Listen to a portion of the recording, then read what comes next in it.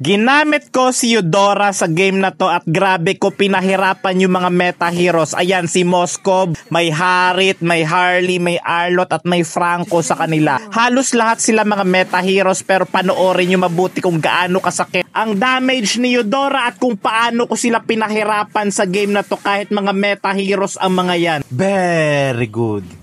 Very good. Kahit wala sa meta si Eudora, sobrang sakit pa rin talaga niya lalong lalo na kung marunong ka gumamit. Wasak talaga yung kalaban dito, sinasabi ko sa inyo, 'di ba? Ganito kaaga killing spree na kagad ako. Sobrang lakas daw ni Moskov ngayon at tignan natin. Ayan, very good one hit lang sa atin yung si Moskov, no? Syempre ulitin natin yan, take two tayo, take two tayo. Tago-tago ka pa dyan, ha? Very good. Bagsak na naman yung Moskov nila. Dito sa part na to, 1v1 sa tatlo, kaya ako natalo. Tignan nyo, tatlo pa sila para ako ay matalo, di ba?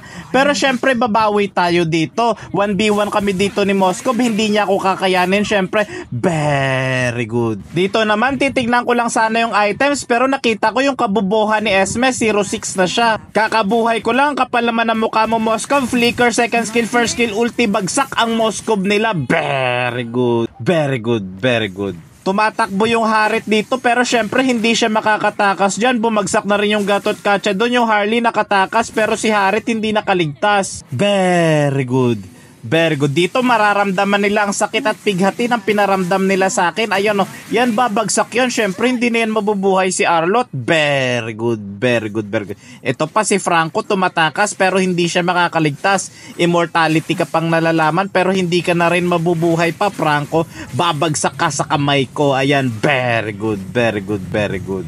Dito nakita ko na naman yung kabubuhan ni Esme. Pumasok siya doon kaya ginaya ko. Sabay kaming bumagsak tuloy. Nagkamali ako doon kasi ginaya ko si Esme. Kasalanan niya talaga yun eh. Kasalanan ni Esme yun dahil sa kabubuhan niya. Tignan nyo naman. Nagchat na ako dito Esme. Huwag ka masyado pabigat. Kasi ang bigat talaga nung Esme. 08 na siya dito. Di, napakabigat talaga. Nakaka nakakainis na talaga yung Esme na to. Nakakainis. Tignan nyo. Makikita ko naman yung kabubuhan niya. Kita na nga sa mapa na nandun yung kalaban. Pumasok pa siya. Nag-ulti siya dun sa damo. Eh syempre, kakabuhay niya lang pero bagsak na naman siya. Kita niyo naman yung kabubuhan nitong Esme na to, no?